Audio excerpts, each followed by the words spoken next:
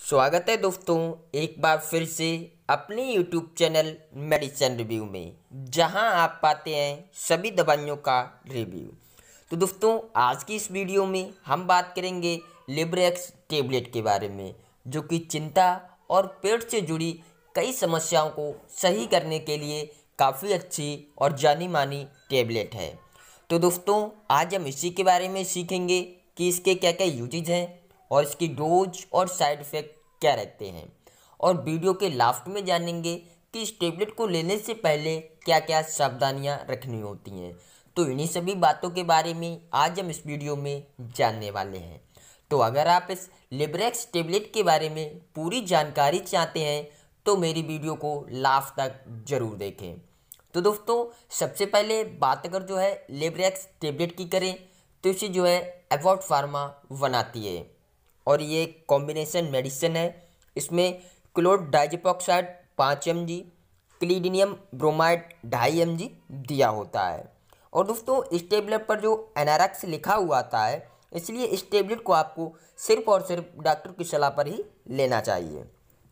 तो दोस्तों, इसमें जो क्लोड डाइजिपोक्साइड दिया होता है, ये बेंजोडाइजिपिन ग्रुप की एक दवा है। जिसका उपयोग केवल गंभीर व्यग्रता या गंभीर व्यग्रता के साथ नींद न आना, व्यवहार में परिवर्तन होना, मांसपेशियों में दर्द होना और शराब को छोड़ने के लिए किया जाता है। साथ ही दोस्तों, इसमें क्लीडिनियम ब्रोमाइड दिया होता है। इसका मुख्यतः उपयोग जो है, अत्यधिक एसिड स्त्राव के कारण पेट और आंत में जो अल्सर हो जाते हैं, उनके इलाज में किया जाता है। साथ ही दोस्तों, यह पेट में ऐठन को भी राहत देता है। तो दोस्तों, आप जानते हैं इसके यूजेस के बारे में कि इसका उपयोग जो है किन किन बीमारियों को ठीक करने के लिए किया जाता है।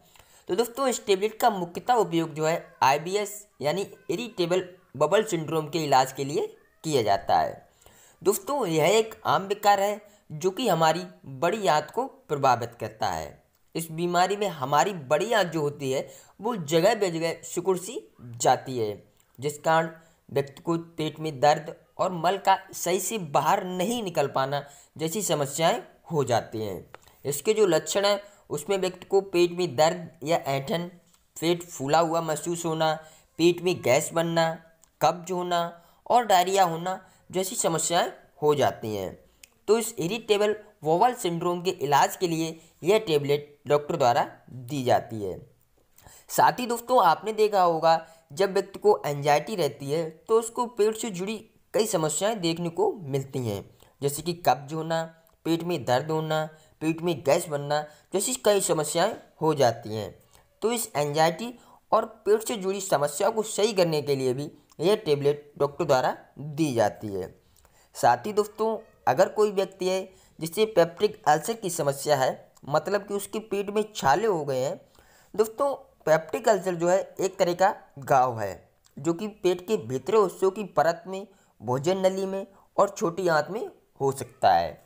पेप्टिक अल्सर के दौरान जो है, व्यक्ति को बहुत ज़्यादा दर्द होता है और ये दर्द नाभि से लेकर छाती तक महसूस हो सकता है।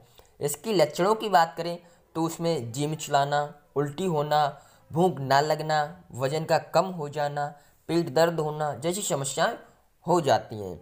तो इस पेप्टिक अल्सर को सही करने के लिए भी यह टेबलेट डॉक्टर द्वारा दी जाती है। तो दोस्तों, ये थे इसके कुछ यूजेज हो सकता है ये जो मैंने यूज़ बताए, इन यूजेस के अलावा भी डॉक्टर अपने अनुभव के हिसाब से किसी और बीमारी को ठीक करने के लिए इस टेबलेट का प्रयोग करें। तो दोस्तों यूज़ जानने के बाद अब जानते हैं इसके साइड इफ़ेक्ट के बारे में कि इस टेबलेट के क्या साइड इफ़ेक्ट हो सकते हैं अगर किसी व्यक्ति को होते हैं तो। तो इसके साइड इफ़ेक्ट जो है, खून की कमी होना धुंधला दिखाई देना, मुँह का सूखना, उल्टी होना, चक्कर आना, कमज़ोरी आना, उलझन होना जैसी समस्याएँ हो सकती हैं। ये या इसके अलावा भी अगर कोई अनवांटेड इफ़ेक्ट दिखाई देता है तो इस टेबलेट को लेना बंद कर दें और अपने डॉक्टर की सलाह लें, जहाँ से आपको फर्दर ट्रीटमेंट दिया जा सके। तो दोस्तों, अब जानते हैं इसकी डोज के बारे में, कि इसकी डोज जो है डॉक्टर द्वारा कितनी मात्रा में दी जाती है। तो दोस्तों, जैसा कि मैं आपको प्रत्येक वीडियो में बताता हूँ कि किसी भी दवा की डोज, मरीज़ की एज, वेट और उसकी बीमारी के अकॉर्डिंग दी जाती है। फिर भी दोस्तों, इसकी कॉमन डोज की बात करें तो वयस्क में जो है, दिन में एक टेबलेट सुबह खाली पेट दी जाती है। अगर आप इसे जो है, खाली पेट लेना भूल जाते हैं तो आप इसे खाना खाने के दो घंटे बाद भी ले सकते हैं।